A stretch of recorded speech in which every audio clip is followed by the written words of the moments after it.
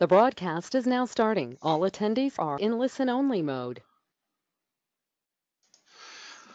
Okay, good afternoon, everybody. Welcome to today's webinar on Reckon One Payroll.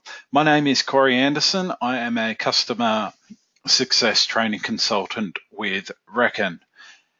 Now, just a little bit of housekeeping before we do get underway. I know a number of you have already uh, been on a webinar before um, with us, but if you're unfamiliar with the GoToMeeting thing, uh, today we're just using the computer audio. We're not going to be using uh, you guys talking. You'll only hear me.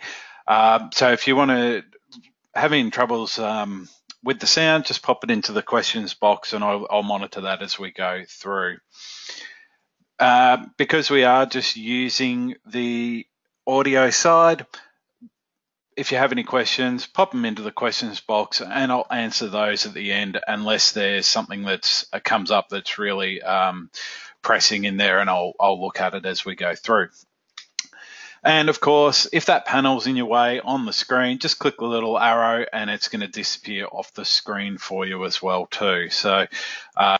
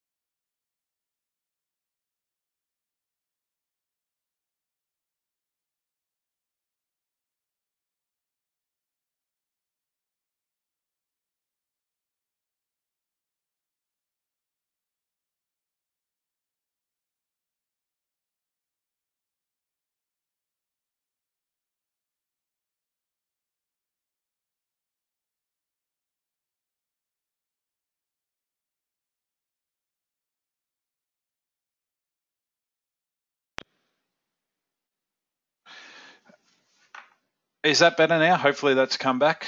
Just pop in the box. Excellent. Sorry, guys. One of those joys of technology. I'm, um, I'm not quite sure where we lost on there, but yeah, three dollars a month for the unlimited payroll there for employees and that. So, what we'll do, we'll just jump in and we'll start uh, running through everything in here. Okay, now I'm just going to go into Reckon One that I've already got open, and I've got a number of subscriptions already here. Now, if you want to add it on, I've already got it added on to mine. You just go to the dots, go to settings, and then we can go to customize your Reckon One modules. This is where we can pick up the payroll. We have a light and a medium version. So there's two versions of the payroll, both unlimited employees and but different things that we can do. So the big big difference between those is just on the SuperStream side, whether you're just using the SAFF file on the three dollar a month one, or you want to use one of our uh, the payment gateway of Ozedi to submit that payment um, to the clearinghouse majority of our users are using just the light because it does everything they need to do. It's compliant with, with single touch payroll and SuperStream as well. So once you've picked that up, I've already got it turned on in this one. It's just a matter of clicking through, next, paying for it. Now, the best part is because it is a monthly payment, you can chop and change as you need to uh, within there as well too. And we're going to store that data for seven years, even if you do uh, decide to turn it off at some stage. Okay, so once we've got it activated, I'm going to go into my book that we're using today, my good old Smash Davo Cafe.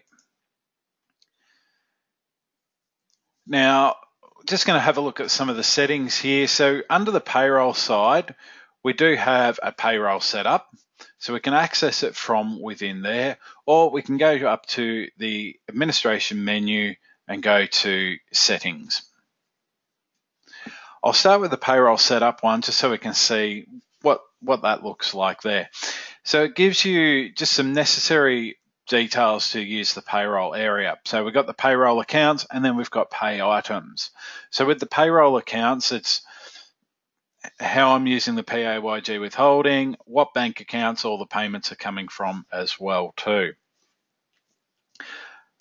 If you go to the advanced, this is where you've got things like the legal contact, a little bit more payroll setup information there on optional password for pay slips and payment summaries, for example. Um, further information on accounts like expense accounts. So this one here shouldn't be sundry expenses, should actually be my wages and salaries account. Any rounding um, and also automatic payroll payments. So once you finish a pay run, you can go to the payments area of the banking and run an ABA file for payment of the employees. I'm just going to click save on that. If I go to the pay items area. This shows me all of the pay items by default, but it also breaks it down into menus. Say, for example, leave, earnings, any allowances, and so forth as we go through. So let's have a look at the leave to start with. So there's just one thing in here. Now, by default on annual leave, leave loading is turned on. So this is book we've used a few times. So it'll have the 17.5% in there. So just be wary of that. If you don't need to have leave loading on there, delete it out of there and it won't be applicable. Of course, you can create another pay item if you need a mix of leave loading, non-leave loading between employees uh, by just clicking on add and then just choosing the type that you want to create this leave item for, say annual, you might call it annual leave LL, for example, um, and just go through and complete the boxes as required. You'll notice there's also a tick box for show leave balance on the pay slip. So if leave balances, because annual leave and sick leave aren't required by law to be shown on a pay slip, um, employers always show annual leave, some employers don't like to show the personal leave sick or sick leave on a pay slip. So if you don't want that to show, you can untick that box and that won't appear.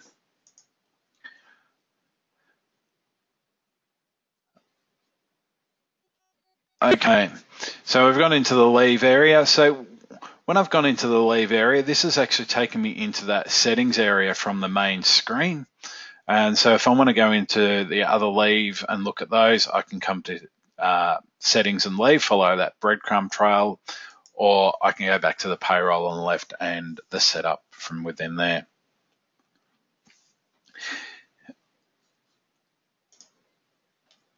Now I was meant to click on pay items, not leave, so let's go to pay items. This is where all the items are sitting there. So um, any salaries, super guarantee, salary sacrifice for super, any other sal sac in there as well too.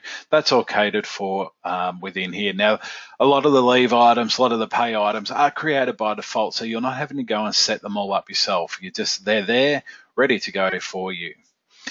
Take for example the super guarantee. One of the things that you will need to do on that is uh, specify the expense account, but also the items that are included in the calculation for super guarantee. So I've ticked salary, annual leave, personal leave, and tick anything else that needs to apply to the employees.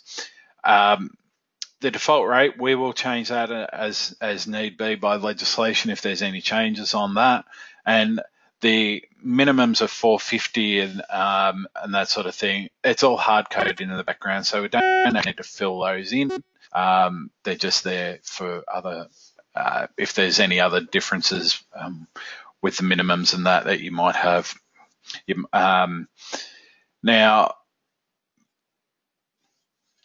easy enough to create other pay items if required as well too. Uh, just clicking on add and chooses it an earnings, allowance deductions, reimbursement, super company contribution. And if it's an earnings, you can choose the type that it is, overtime variable termination, uh, and so forth. So um, choosing whether there's tax applicable or not. So we can work our way through all of the, the pay items there. Just going back to the settings side, one thing I didn't, didn't mention is just under the general, that's the same thing as we looked at just before with the, um, the legal contact and all of that for the payroll side. Going to move over to the pay schedules next. So pay schedules, uh, I liken them to creating buckets for the employees. So I've got a cafe here. So we've got different types of staff. We've got kitchen staff. You're going to have floor staff. You might have the owners as well. So I can create buckets to put these in or pay schedules to put the employees into. So then when it comes to pay time, payroll time, um, I can go in and I can go, okay, I want to pay all my wait staff. I want to pay all the kitchen staff. And all the staff that are assigned to that that schedule are then automatically pulled up within there. So you can see if I click down there, I've already got an employee created and set up within there. So I'm not having to go and add employees to pay runs and that. They're already in the schedule and it makes life a lot easier for me. You might also just have one pay schedule called employees as well. So even that still streamlines and makes it more efficient that you're not grabbing them all. But you might have staff that are paid fortnightly, but they're paid alternate fortnights for cash flow purposes. So I might pay my kitchen staff this fortnight, but and so this week is pay week for them but next week is the fortnightly pay run for my wait staff. So it just means I'm I'm paying out each week, but I'm not paying out a big chunk every fortnight. So I'm just evening up a little bit. So if I want to add a pay schedule, just clicking on the add, give it a name, choose whether it's weekly, fortnightly, or monthly, whether when you want it to start, and the end date, and also the first payment date. So that might be on the end date might be the day after the end date, depends on the type of employees and the way their remuneration is set up. Okay, so after we've done the pay schedules, we have the year-to-date setup. Now, year-to-date setup, I'm actually going to come back to a little bit later on because doing the year-to-date setup, you, before you can actually use that you need to have the super fund set up and the employee set up. So because information needs to be put against an employee or a super fund.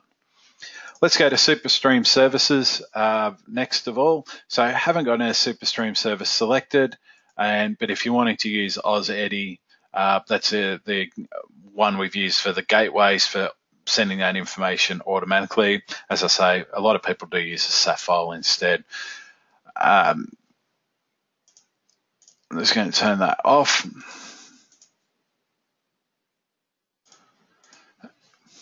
Now, I mentioned we need to set up employees and we also need to set up our super funds before we can do year to date. I do recommend setting up the employees before we actually set up the, uh, sorry, set up the super funds before the employees. So let's go to payroll and let's go down to super funds.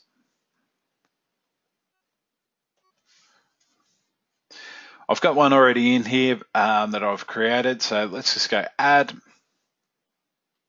and we just give it a name. I'm actually going to set this one up as a um,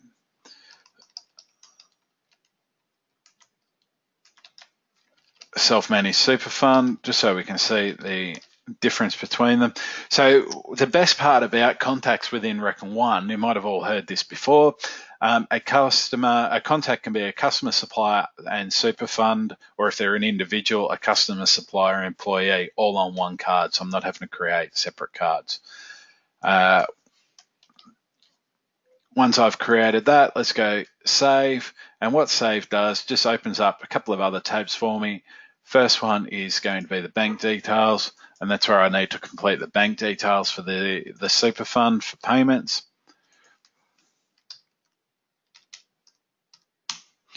And then I move to the super funds tab. Oops, I forgot my zeros.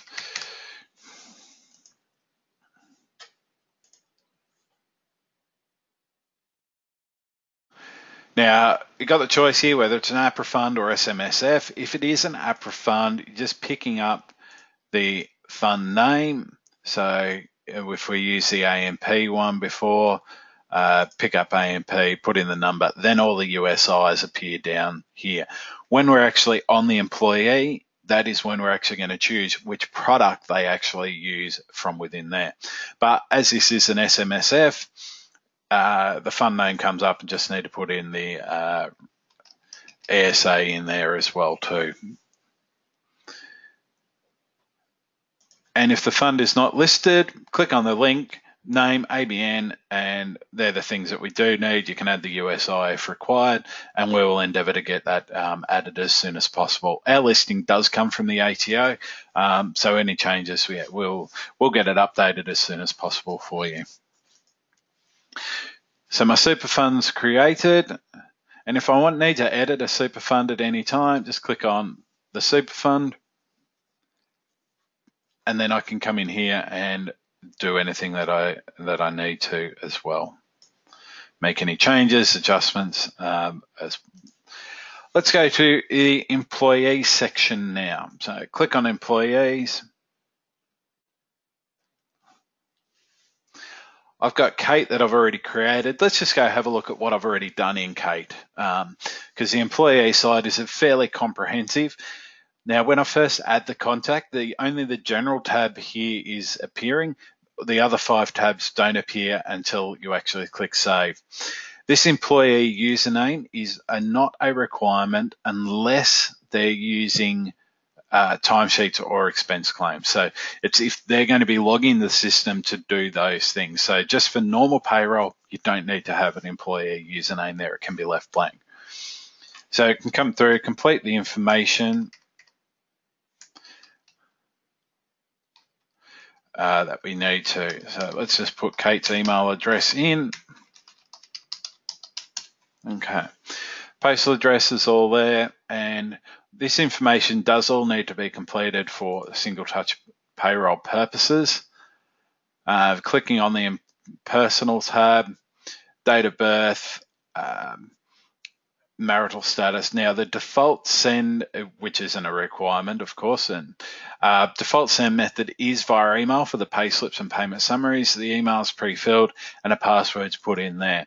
So just it can be just a generic password that the employee would need to see their payroll officer and say, right, let's make my password um, souffle, for example, and it needs to go in there.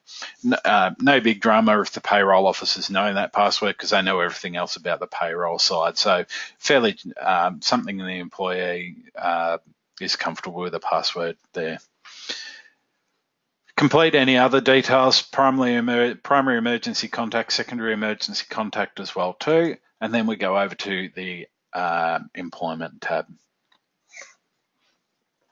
Now, where's single touch payroll? Now, of course, single touch payroll uh, is at the moment only employ- applying for those employers that have more than 20 employees.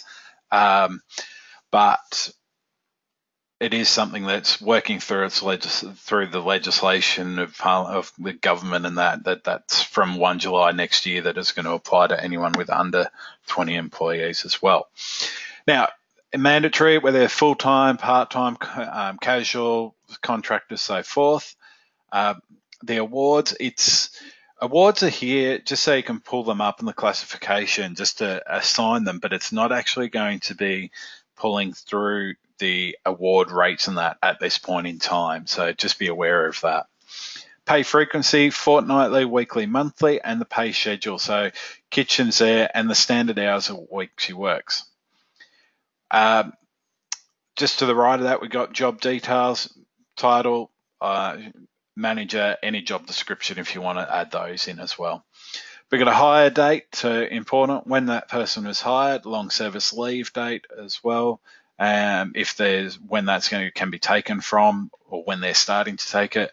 Termination date, if you do add a termination date in there, it does actually ask you the reason for termination, and if you want to go and do their pay run straight away. Now, then we've got the payments here. So, and the payments section is just the bank account that they want that paid into. And you can add multiple bank accounts and do a percentage split, dollar split on that as well. Let's move over to the tax tab.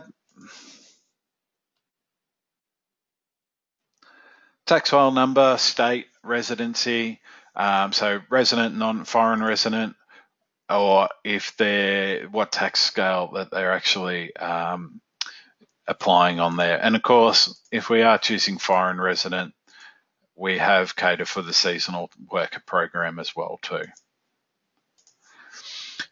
any extra tax, a dollar amount or percentage amount that someone might like withheld, um, any help debts, student loans, um, financial supplement schemes as well too, Medicare levies. So we can cater for, have all of that information in there. The leave tab is important now. The leave tab also relates back to the hire date because this is when leave first starts and calculates from. So we can add in, I've added already in the annual leave, personal leave, it's put in the annual entitlement per pay, so forth, and pay on termination.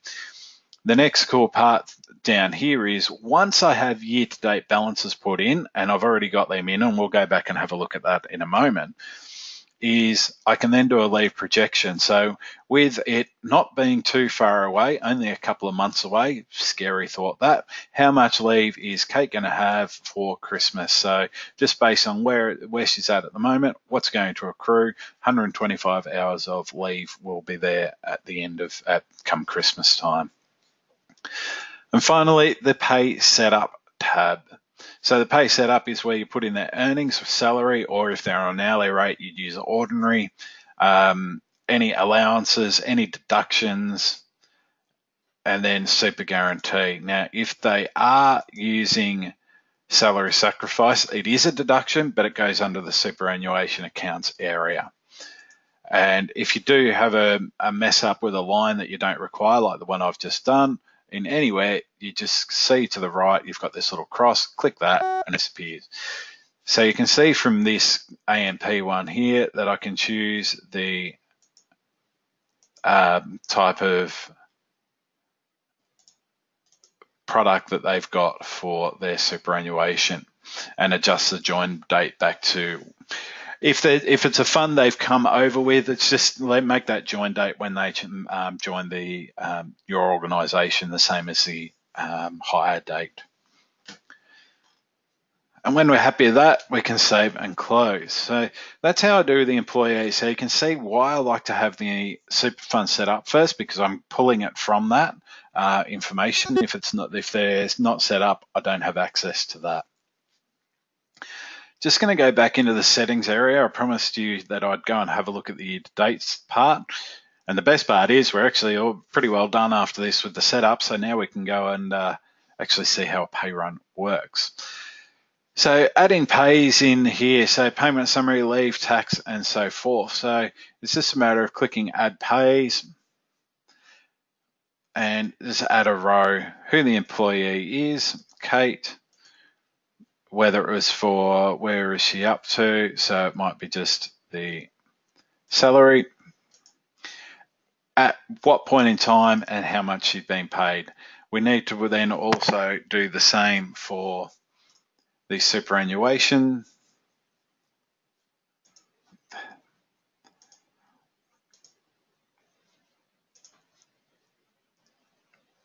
Superannuation side.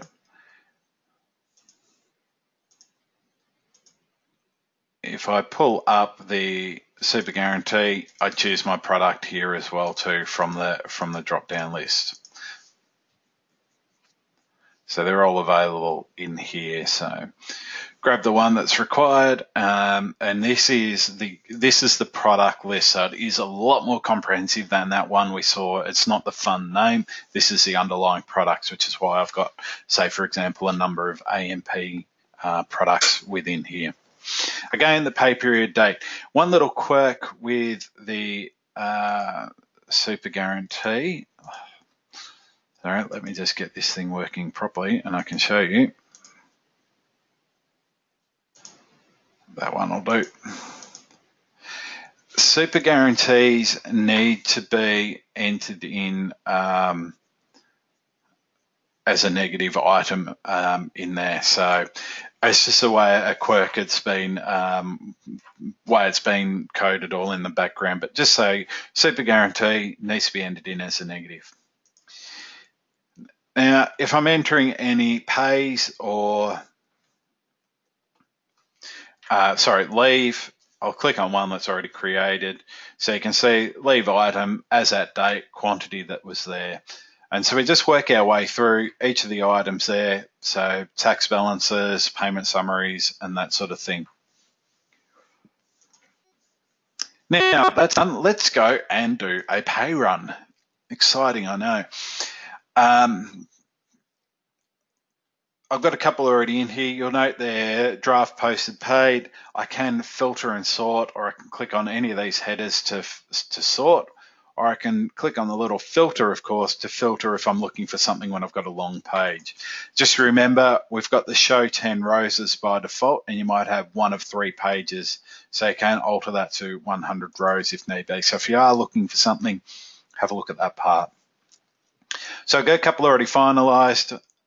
Um, and next to the ad, we can also hide and show columns. But let's click on add. And we've got a couple of different ways we can do the pay run. So we've got unscheduled by default. So unscheduled is I don't have the buckets that we're using and I'd have to manually go and add my employees in and then complete the pay run. Load all their, all their pay information will load. Now, we can then do a kit a scheduled run, so it pre-fills my dates already. Now, one little great thing about the unscheduled ones, you can actually run an unscheduled for the same time period as a scheduled pay run. So you might want to do it is what if um, everything I gave everyone a Christmas bonus, how would that look, sort of thing. So you can do these things to have a bit of a play around with it. Just remember if you, the one you don't use to delete it as well do. So I've told that to create the scheduled pay run. It's now sitting at draft. Let's click on that there. And we can see one employee, if there's multiple employees, they're all going to list down and it gives me a total of all of them at the bottom there. I can then, if I wanted to, if I'm happy with that, I can just finish the pay run. I can email the pay slips in bulk uh, if I needed to, or I can click into Kate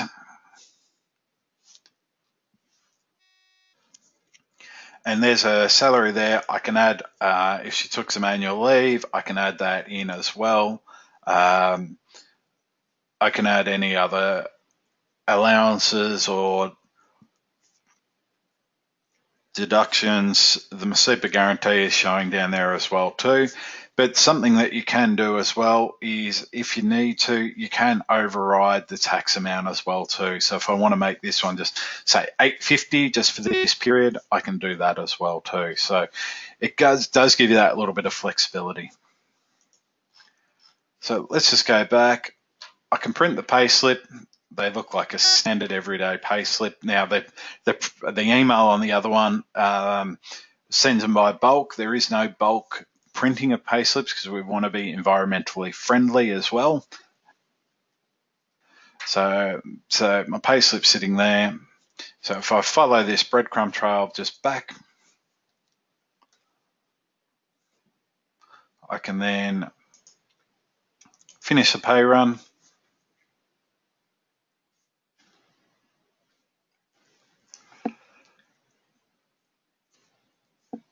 And that's all locked and loaded in.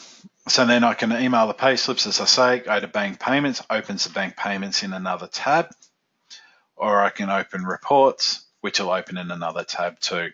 Let's stick with bank payments for the moment. So this is the creation of ABA files. Click on add, bank account that's to come out of,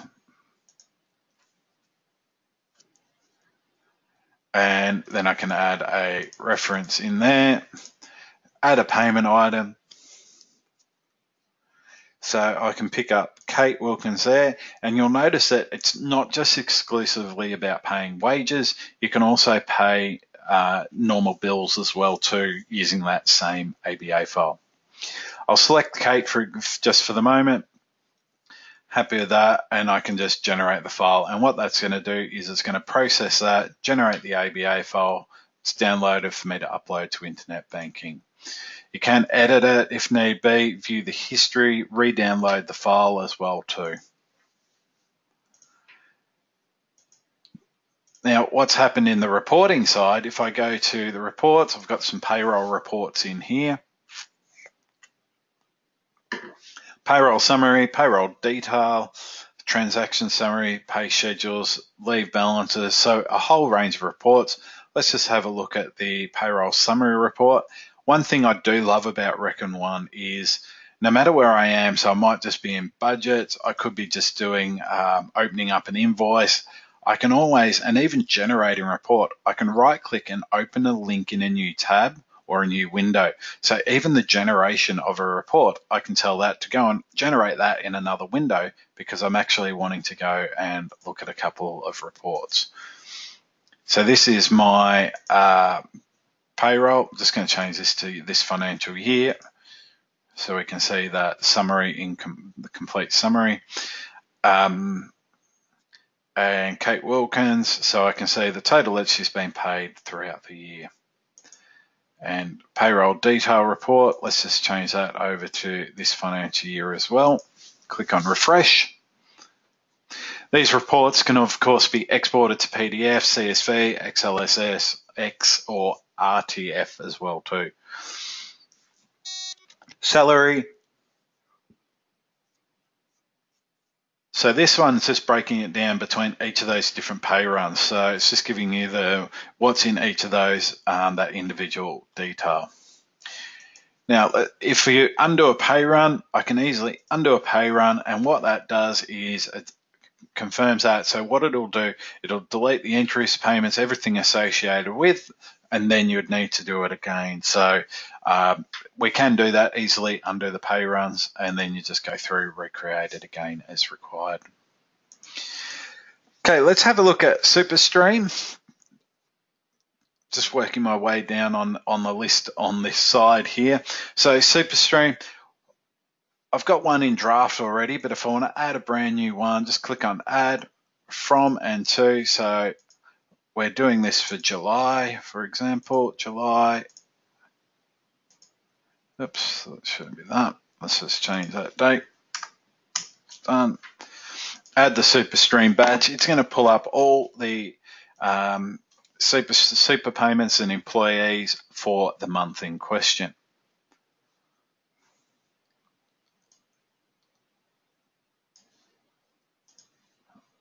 There we go, Kate Wilkins, and it's pulling up the two of those in there. I can preview that. I can create the SAFF file to download. So just click on SAFF. It's going to create that. It will automatically download just to the default download directory through your browser. I can mark it as lodged. And if I had the gateway turned on, I can lodge via gateway as well too. So that's at Ozedi. Now, single touch payroll. So you can see now that single this has all been completed, my information has gone through for my employees. And I can click onto one of those um, batches, I suppose, and it's going to list my employees there. And if this is an update, I tick that box and then I can send to GovConnect STP. So with STP for uh, Reckon, we've created a separate program within the portal. So if I just go back to the portal, you'll see under my products, we've got Reckon GovConnect. That's what's connecting to the ATO for the lodgement because we've got four products that need to lodge single touch payroll. We created a separate product for that. So with the um, single touch payroll within this one in particular. I click on send to GovConnect STP and that will fire that over. I was looking at this just before we started this. I was trying to get this to work um, and I've just I haven't got mine to work fully for you, but I do have a backup. So send the full file replacement. So if you have made a big error in there, you can send a full file replacement to the ATO or just an update and mark it as sent as well too. But what happens if I just go into my uh, slideshows in here, just so you can see. So we're at this screen within there. Once you've actually sent it over, it says you've successfully sent that pay data to the GovConnect STP portal and you can launch it from in there and review that.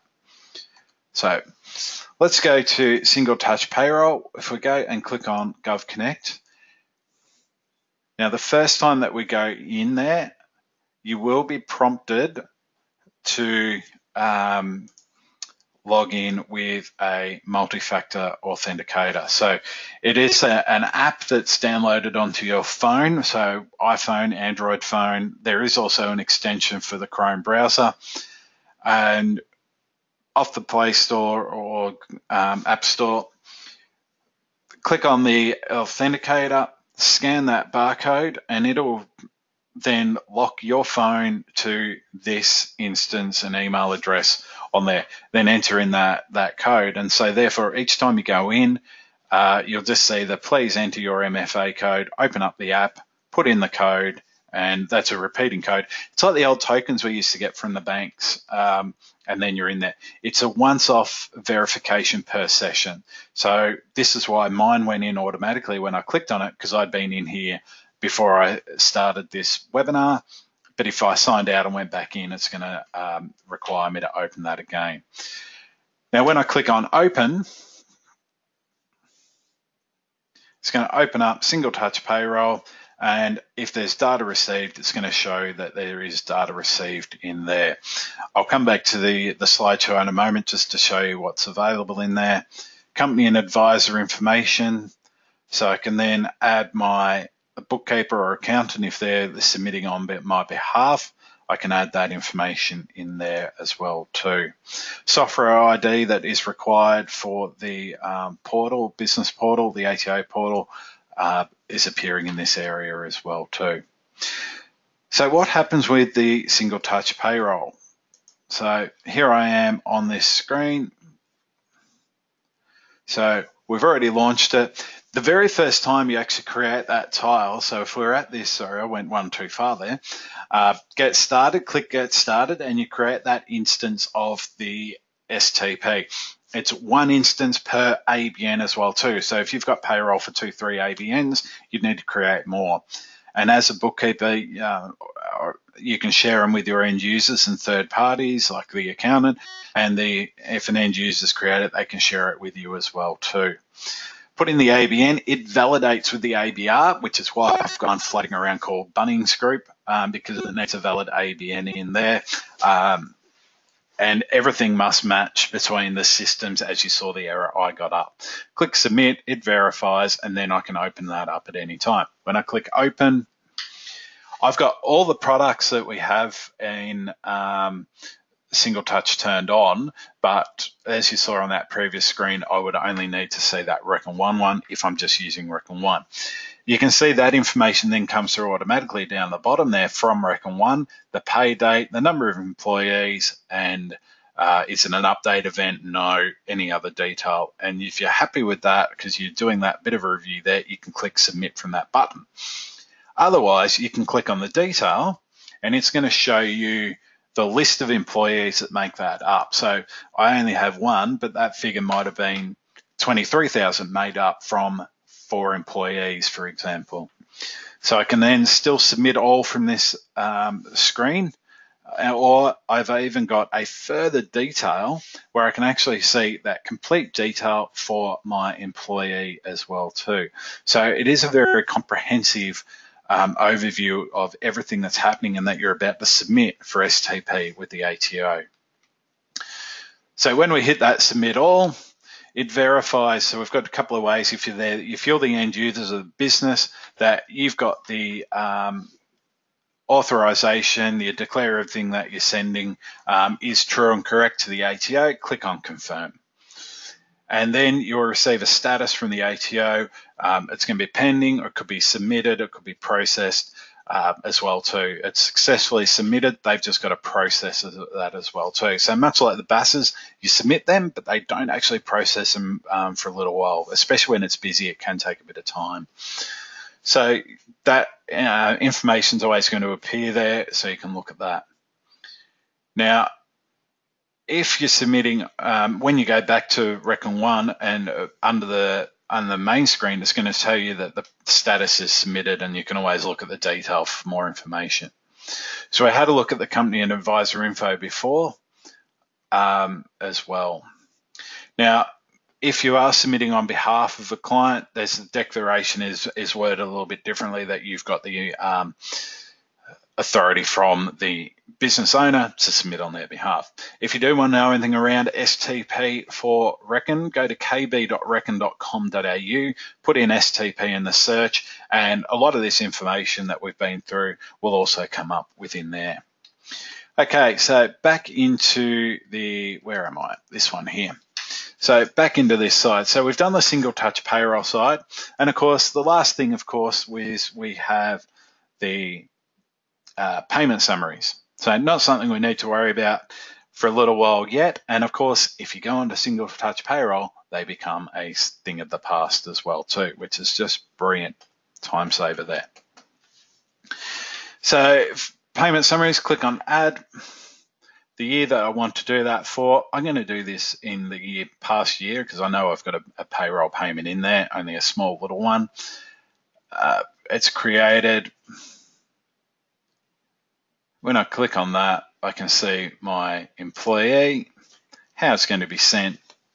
And so then I can just print off, or sorry, email off the uh, payment summaries to Kate and for her and do that for each of the employees. So that's just creating the payment summaries. So the other side of that is we do have the ETP payment summaries as well too.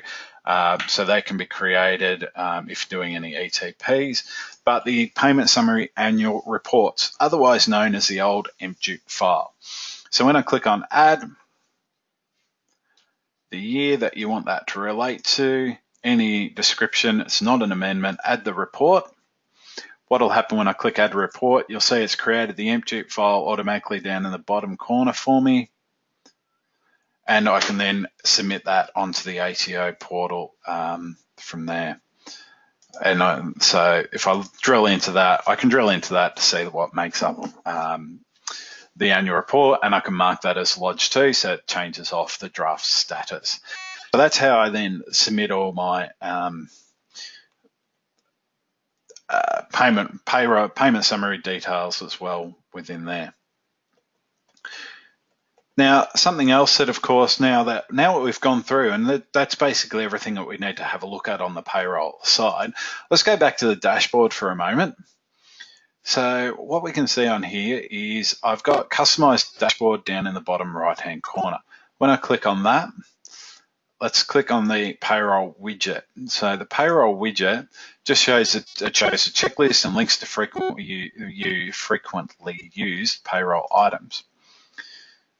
So that's going to appear here. Now, when you first go in there, the payroll checklist, um, if you've never used payroll before and you're doing the setup, the checklist can actually be quite handy. So if, for example, this configure payroll settings, if you click on that link, it takes you through to that area Um, it opens that up, gives you information what that is, and shows you where to go by clicking on that um, payroll settings general. So it takes you to that area so you can work your way through that list. I'll just go back to the dashboard, back to the payroll side. Now, there's also some getting started payroll videos. So you can have a watch of those as well. It takes you on to um, the help area for that for um, the payroll videos. And working through that checklist just shows you what you have and haven't done. When you are finished with that, you can click Hide Checklist and it becomes a standard widget for um, payroll. So you can go a short link to employees, you want to run your pay runs, you want to do the payroll uh, payments as well. Now, the other thing, just I should actually mention, just relating to payroll, just go back into the settings area here. When it comes to doing the BAS, if I go into the BAS details area under tax settings, I want to make sure that I've got PAYG tax withheld ticked um, within there as well. So when I've done that, so when I come down to the tax area and I go to run my BAS, and I add that bass, I'll just bring up one that I've already got in there. You can add the document IDs and all of that as well too. When I've got that there, it's going to pull up, because um, that one's already created. Um, I'll do a new one actually.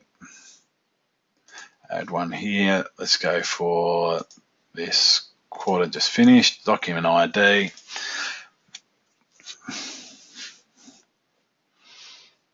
You'll see that's pulled through my PAYG tax withheld uh, here for the for the period. So when that's marked as lodged and submitted, it's all going to be um, go through with all the withholding tax on there. Okay. Which one am I at? This one. Okay. So this webinar today has been recorded. Um, it's going to be uploaded onto the website. You can go to reckon, um, go.reckon.com training and you can access recorded video webinars and workbooks. The Training Academy also a great resource as well. So these are all in there. Um, if you want to do any, um, download any of the manuals and that around payroll, you can jump onto the Academy, uh, free to sign up to.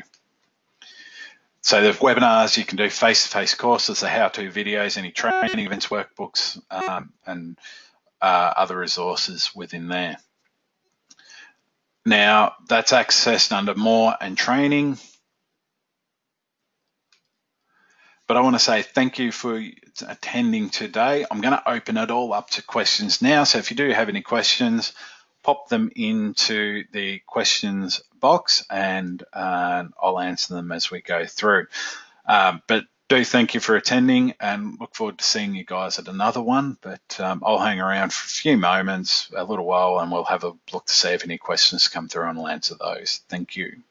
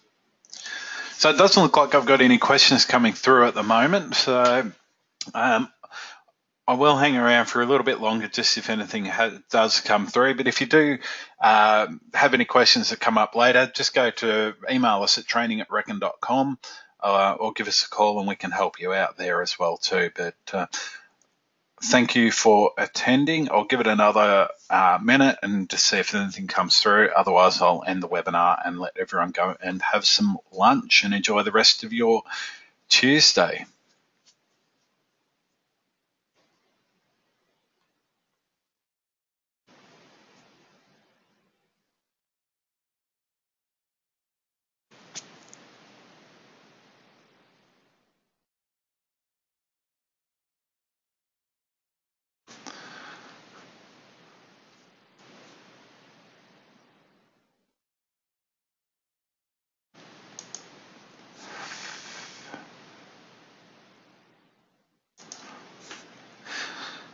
Okay, I'm going to end the webinar now, but thank you for attending and enjoy your day and we'll speak to you soon. Any questions to training at reckon.com. Thank you very much.